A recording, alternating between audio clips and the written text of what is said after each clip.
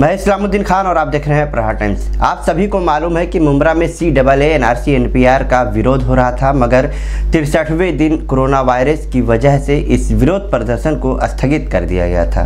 जिस वक्त विरोध प्रदर्शन स्थगित किया गया था, उस वक्त कहा जा रहा था कि विरोध करने के लिए जो शामियाना लगाया गया है, वो ऐसे ही रहेगा। मगर कल से ही अब ये शामियाना भी निकाला जा रहा है। आपको बता दें कि प्रदर्शन स्थगित करने के वक्त करीब अट्ठारह महिलाएँ अपनी चप्पल वहीं छोड़ दी थी कि विरोध दोबारा कोरोना वायरस का खतरा खत्म होने के बाद शुरू करेंगी। और मीडिया को भी जानकारी दी गई थी कि पुलिस ने सिर्फ़ स्थगित करने को कहा है।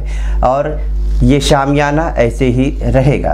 हालाँकि प्रदर्शन स्थगित होने के बाद लॉकडाउन होने की वजह से करीब चार से पाँच सौ लोगों के लिए यहाँ खाना बनाकर ज़रूरतमंदों तक पहुँचाया जा रहा था। मगर कल से ही मुमरा शाहीन बाग का शामियाना भी खोलकर हटा दिया गया है। महिलाएँ जो चप्पल यहाँ छोड़कर गई थी, वो भी हटा दिया गया है। आपको बता दें कि सी डबल ए का विरोध कर रही महिलाओं ने भी कुछ दिन पहले प्रेस कॉन्फ्रेंस कर जानकारी दी थी कि कोरोना का खतरा टल जाने के बाद दोबारा सी डबल ए का विरोध शुरू करेंगी।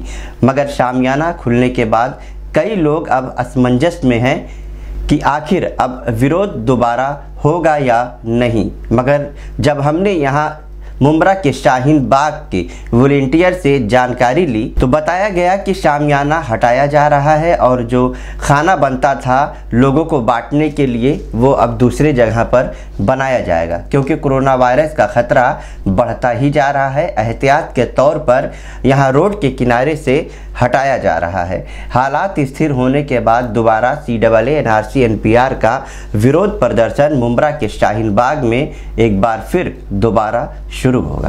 तो तमाम खबरों को जानने के लिए देखते रहिए प्रहार टाइम ताज़ा तरीन खबरों के लिए हमारे यूट्यूब चैनल को सब्सक्राइब करें और बेल आइकॉन दबाना ना भूलें। अगर आप फेसबुक पर देखते हैं तो हमारे पेज को लाइक करें।